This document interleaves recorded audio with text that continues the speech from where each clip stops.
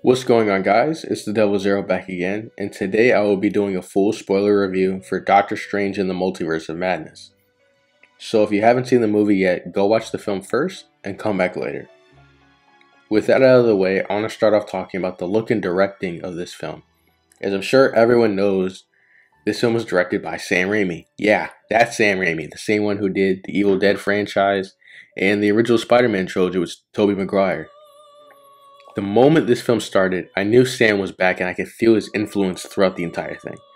I mean, the fight scene against Shuma-Gorath, I mean, Gargantos, uh, we have the distinct focus on bystanders, the quick ways the camera kind of moves around the scene, and in particular that like one long shot of America Chavez running towards the camera and away from uh, the Gargantos. Uh, not to mention, the color palette in this film was beautiful. Uh, MCU movies are usually very like gray toned and just in general very toned down visually. But this time we had like proper bright and warm colors throughout the film and I mean, I think they should just stick with this. I don't know why they have their films so like grayed out, but I think Raimi shows why it's better to have films with superhero films at least with like these bright warm colors going on. It really makes everything pop out more, which kind of fits because it's you know comic book films. You know, it should look like it's popping off the page a bit. Uh, also, his horror movie experience was on full display, as we see with, for example, the tunnel scene with Wanda, which was just like terrifying. kind of how like we had that quiet moment where like they think she's disappeared or something, and then she just pops up out of nowhere past the door. And uh, we also get like these cheesy jump scares. Like I remember the one with like Christine, like seeing um the uh what's uh like the dark strange and then like he dies and then like the third eye just pops up even after he's like been impaled. That was like really cheesy but like good cheesy. And then um you know like danny elfman's score also really matched the aesthetic well. Now i want to move on to the characters and the plot though. The plot is pretty straightforward. I mean Stephen Strange travels the multiverse as he's trying to protect America Chavez from the Scarlet Witch, who wants your children back. I think this benefited well from a simple story as it allowed for plenty of character work with Doctor Strange and Wanda specifically to happen. Speaking of which, I'll start off with Doctor Strange. I think he had a really good arc in this film that paralleled well with Wanda and him needing to move on from Christine and progress towards a path of happiness. You know, like they keep asking him throughout the film, Are you happy? And giving him a Christine from another universe to talk to and get that closure with it was a fitting a uh, fitting uh, way to like bookend their you know their dynamic.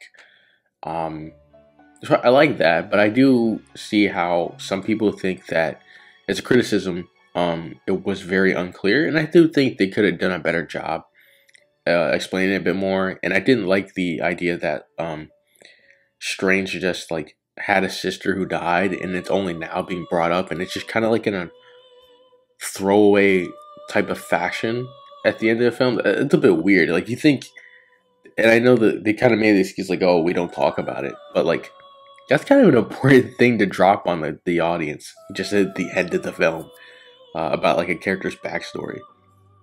But anyways, I think Dark Dark Strange was a good uh, inverse to him, showing what would happen if Stephen never moved on from Christine, or uh, Supreme Strange, you know, the the Sorcerer Supreme version of him, showing what happens if he uses his powers irresponsibly even if he does have good intentions. You know, the famous saying, good intentions are paid, or uh, the road to hell is paved with uh, good intentions. Uh, which is noted throughout the film when we see characters, you know, bring up his plan to defeat Thanos, like at the beginning of the film in the church. We see uh, the uh, the fellow doctor like ask him, "Was it was that the only way?" And he says, "Yes." Uh, maybe that wasn't true. Maybe there was other ways. Maybe he could have used the Book of Vishanti to beat him. But yeah, um, I also like that continuing from Spider-Man No Way Home, Doctor Strange gets to work with like another teenage hero that kind of helps him open up even further. Um, and I, I, do like the fact that they reference No Way Home, and because it that is that was like a big thing for Strange as well. And just I mean the Marvel cosmos in general, even if it was like a personal story. Uh, the use of his magic was also pretty cool. I mean, like it was a big step up from the first movie. It was more on the level of like Infinity War, where like you know, we get the music battle. I love the music battle. It was so cool with uh, Dark Strange and like you know, we see him like summon monsters and like a buzz saw. And then my favorite part of just like Strange using magic was him dream walking into like his own like old universe corpse and like controlling the souls of the damned. Like that was raw as hell, man. Like, like it, it looked so cool, and like you had like the zombie strange like had makeup. You could obviously tell it was makeup. It felt like early 2000s zombie movie makeup, which fits perfectly with like Raimi's aesthetic. And as far as like the end of the film goes, I do have a gripe with like the final scene, and that's and also like the mid credit scene as well. Um, when the film ends, we see Steven is a side effect, I'm assuming, from using the Darkhold. He gets like the third eye, which is a reference to the comics. He has a third eye usually when he uses the Eye of Agamotto, but I guess they changed it up here a bit. Um, and he was like just screaming in pain while just walking down the middle of the street. But then we cut to him like walking really chipper in the mid credit scene until Clea shows up. And I, I don't really think that tonal shift works at all because it's just like you establish at the end of the movie there's this huge consequence and like this huge ramification. And then he's just walking chipper like nothing ever happened. It's really weird. That sounds like something he would do, but like the tonal backlash doesn't really work. Um, but I was excited to see Clea played by uh, Charlize Theron.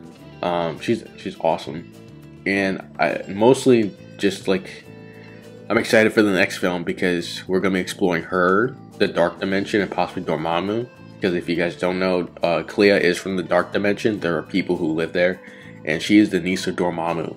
So that's gonna be like a really interesting dynamic to have going forward. And overall, I just thought Benedict Cumberbatch's like performance was great, and uh, it actually might be the best he's done with the character so far. Briefly, I want to talk about America Chavez. Well, she was more of a plot device in this film than a character. I felt like we did get a good amount from her. Um, I'm glad that Disney stuck to like her uh, LGBT roots and like her upbringing with her two moms. Uh, although I do think they could have done more with that than make it like a arbitrary, not arbitrary, uh, like a kind of like a like a coincidental like you know backstory device thing.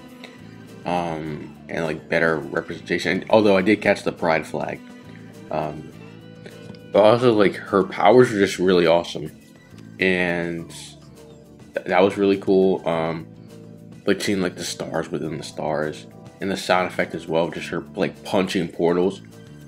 Um, her dynamic strange was really cool too, as I mentioned before, and like uh, I hope to see more of her in the future. I do think she's going to be probably the, the Young Avengers. Now, before I get to the main event, I want to give my thoughts on the cameos in this movie for a bit, and of course, that's the Illuminati. You know, I'm sure all of you at this point have seen the film if you're this far in. Uh, first, I want to talk about Baron Mordo. It was nice to see a version of him again, as it, it was kind of awkward how they built him up at the end of the first movie, which was six years ago, by the way, and like it's like a rival and villain. And I guess we'll have to wait like a bit longer to see that pay off. But I, I did like seeing him again. Um, Captain Carter was cool. I mean, this being the first time in the MCU we see an animated character jump to live action, although it's not the same Captain Carter from What If. Uh, I'm pretty sure she's supposed to be in season two. Uh, her death was like hilarious though, like how, you know, five seconds before she dies, she just says, "I can do this all day," and then she's just cut in half. Like they, they made her a bum. that shit was funny. Um, Maria Rambeau's like Captain Marvel was like the least interesting. I mean, to be honest, I, I like her beam struggle, but with like Wanda, but like I don't know, she she she didn't do anything for me. Like she didn't get a right correct. I went to the theater twice, and I didn't get a crowd reaction from her either time. Um, Anson Mount as Black Bolt was cool. Uh, he had the best glow up in the film. I mean, he went from this like god awful costume in humans and god awful just show in general. Don't watch it if you haven't. But he went to like that to like a more comic accurate version of, of the costume. Like I love that he had the tuning fork and the wings and everything. It looks so good. Uh, and he died like arguably the most brutal death in the movie too, thanks to a certain idiot I'm going to talk about later.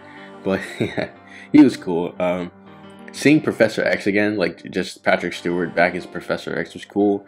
Um, I don't think it took away from Logan just because this is another universe version that's very distinct from the one from the original X Men films.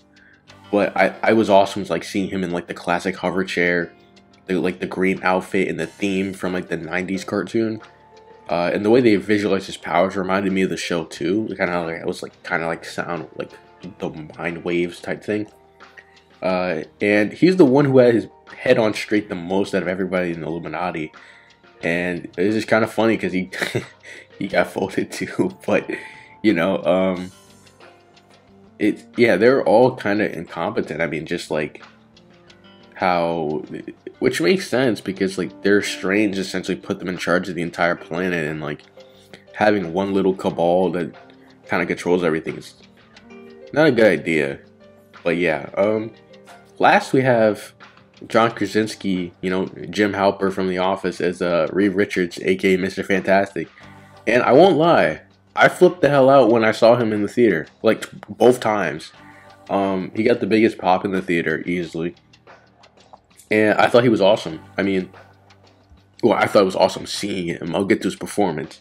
Um, I, I, I thought his performance was okay, but I don't think he really fit Reed Richards. When I think of Reed Richards, I kind of think that, yeah, he's a family man, and but like he didn't. He, I think he captured that well with like bringing up, kind of referencing Franklin Valeria and like Sue and, and them, right?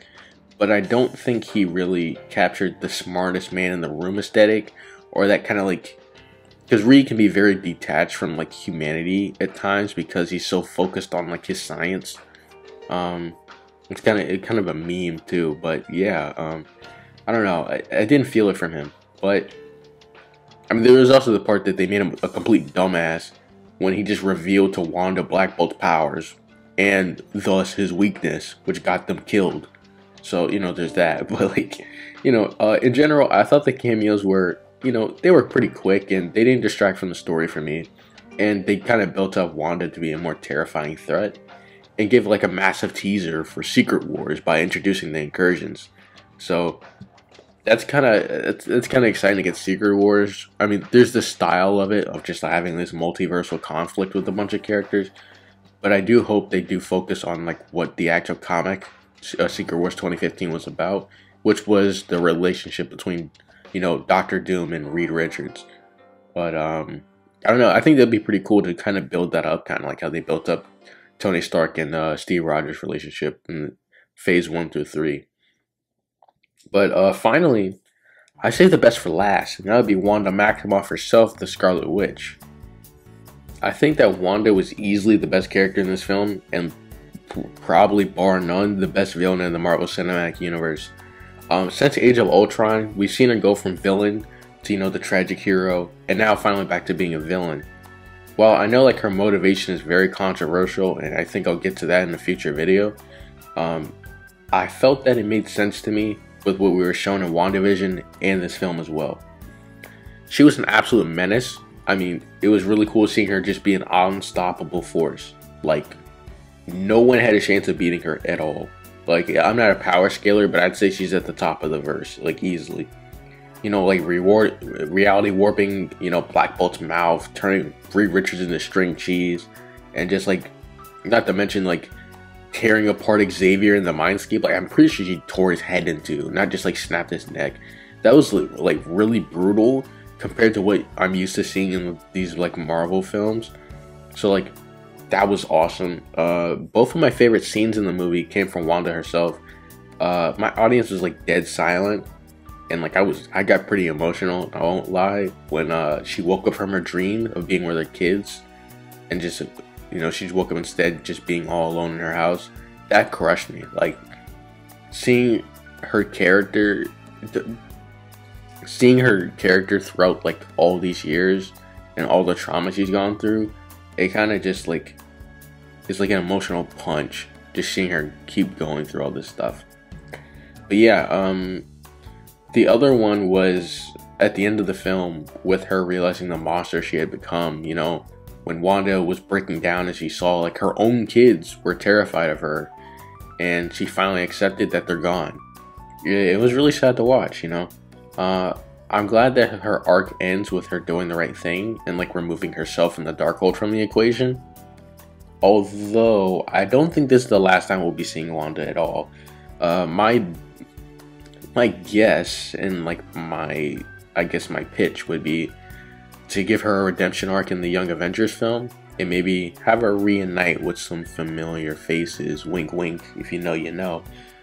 But overall, uh, I would probably give Doctor Strange and the Multiverse of Madness an 8 out of 10. Um, it was a fun ride and good enough for me to see twice in less than 24 hours. Says that. Um, I don't think it's the best Marvel film in the MCU, but I definitely think it's in the upper echelon. Um, and I think No Way Home is slightly better. Uh, I think the emotional highs for me hit harder in that film. But uh, plus just the, the three Spider-Man, I don't I don't think anything can beat that to be honest. But yeah, uh, let me know your thoughts on Doctor Strange in the comments down below. And if you enjoyed this video and want to see more, make sure to like, comment, subscribe. Uh, it, it, would definitely help out a lot. It definitely help the channel out and grow. Um, but yeah, this has been the Devil's Arrow, and until next time, have a great day, everyone. See you later.